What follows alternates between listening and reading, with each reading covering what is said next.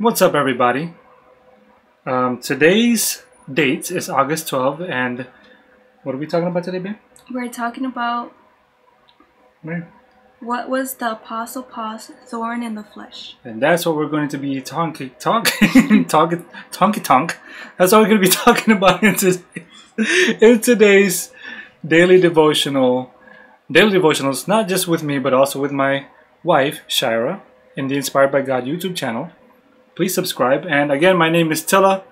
You guys can follow me on all social media. My wife does not have a card here, a greeting card or whatever you call it, or lower third, because we did this last minute. I wanted her to do this. Well, she wanted to do this actually, because I have a toothache and she's helping me out, and my tooth hurts. My jaw hurts right now, and uh, but for some reason I can't stop talking. Anyways, August 12th.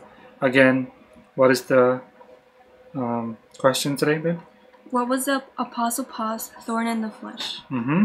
And what where are we reading from? We are reading from Doug Batchelor's 365 Amazing Answers to Big Bible Questions. Okay.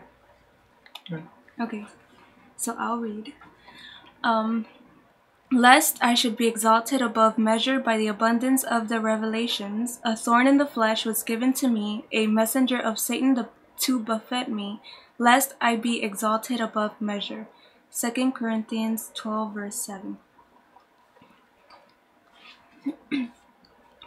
Many Bible scholars believe that Paul had a problem with his vision.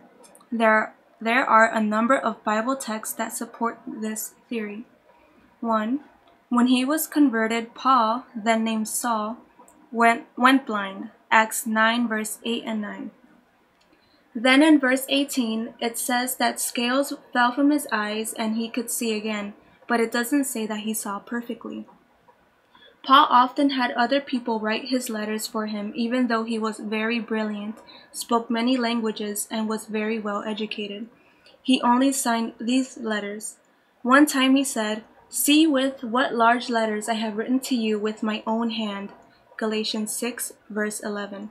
That didn't mean he'd written a long letter. It meant he wrote big with big characters, probably because he couldn't see. 3.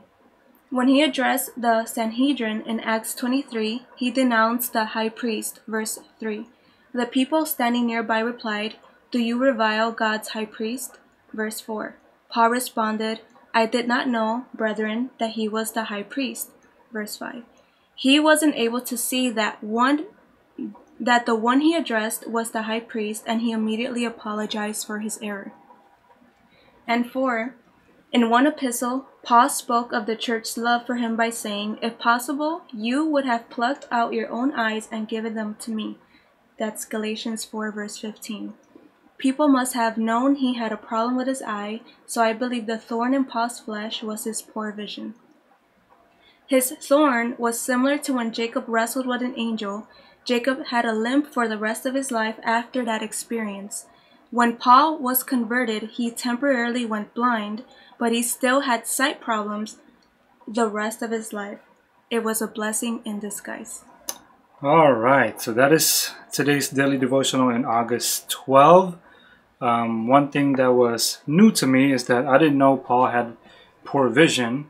Um, well, I didn't really notice that Paul had poor vision, and also I didn't know that Jacob had a limp the rest of his life. So, again, that is today's daily devotionals, August 12.